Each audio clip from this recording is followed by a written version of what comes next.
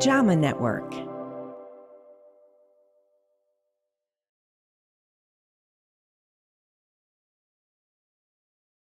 Don Talbot was diagnosed with Alzheimer's at 39. He and his wife Christy decided to get proactive about dealing with the disease. You have to have hope and you have to to encourage each other and part of that was getting involved with research. It's just so important. Don says sometimes he experiences this agitation. I'll hear somebody walk by in flip-flops and that little snap, snap, snap at their feet.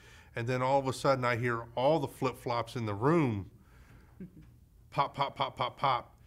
And it's just, it becomes so loud and so overwhelming, I can't do, I can't focus on anything else. Dr. Constantine Lyketsos from Johns Hopkins Bayview Medical Center and co authors studied 186 people with mild to severe Alzheimer's disease and agitation. At random, half the patients received the citalopram, the other half a placebo pill.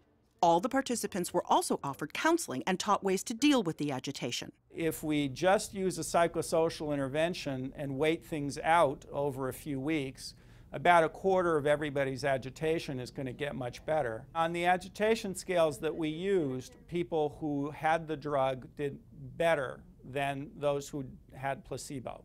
In some cases, much better.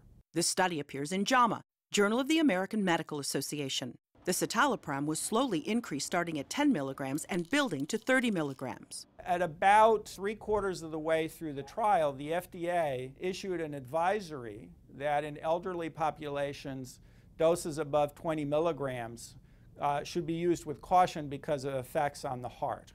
For some participants, those taking citalopram had changes associated with potentially unstable heart rhythms. There is a clear benefit to the drug at the 30 milligram dose. We also have clear evidence of the real cardiac effects also on the 30 milligram dose. At 48, Don says he and Christy will continue moving forward with a certain hope for the future. I hope to be the very first uh, Alzheimer's survivor at an Alzheimer's walk. That's what I hope for. Catherine Dolph, The JAMA Report.